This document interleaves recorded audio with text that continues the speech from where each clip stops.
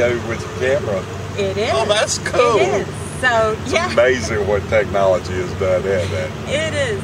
We're here with Claude Pardue, and he is the owner of Mystical Golf. He's our host for this uh, media golf tournament, and we appreciate this very much.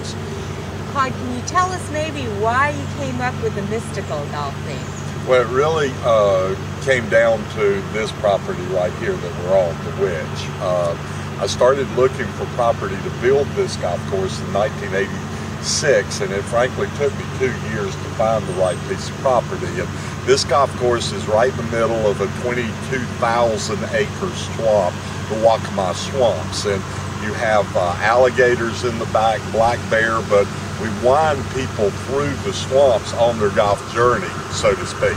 And it really is a golf journey when you play the Witch. And when I was uh, building in this stuff, looking and walking through the swamps, and, and as the witch was being built, the idea of something like the witch came up. And at the time, my partner was uh, uh, came up with uh, the idea of maybe naming it the Witch's Brew, and then we really didn't like that that well. Uh, but then we came up with the Witch, and it seemed to it seemed to fit this golf course because it is kind of spooky in those swamps. It's a lot of fun, but a little bit spooky. And uh, the thing about naming the golf course the Witch, when you do that, the golf course has to be great. Because if it's not, it's going to seem like a gimmick. So to pull it off, the golf course had to be the way the golf course is. And then through this golf course and the acclaim that it's received, it's kind of the centerpiece of our uh, corporation and our operations. So we extended that through the Wizard when we built it. And we played the Wizard yesterday, and you know Danny had his best round in 20 years. So tongues were wagging last night because we've got a net going of 57. What do you think? I think you're gonna win.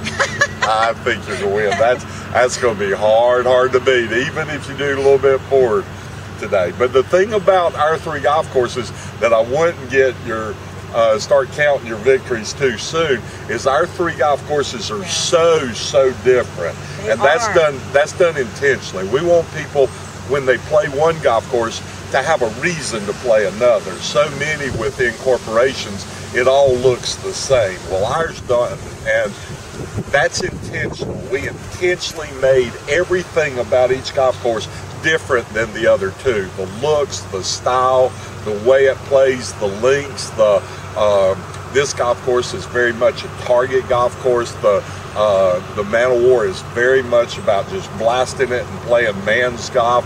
And the Wizard has a little bit of everything in it, and then their looks are so different. So somebody who will do really well on the Wizard may not do really well at the Witch. And, Is uh, that a premonition for my round today, Claude? yeah, a little bit different, but but it, if you truly believe in the idea that uh, golf experiences should test your entire golf game, my three golf courses I think do that as well as any uh, three golf courses out there. Because if you play my three golf courses to play well over a three-day period, you have to do everything well, or somewhere on the three they're gonna bite you.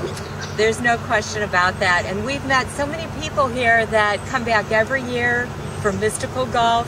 And there's there's a lot of golf down here in Myrtle Beach, but Mystical Golf, you're right. The variety is here. And again, we appreciate you hosting us oh, here. Oh no, thank y'all for coming. And we're looking forward to tackling this witch.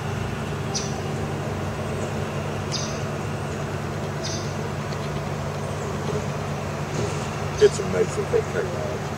You know, maybe 25 years ago, if I did a TV, there was cameras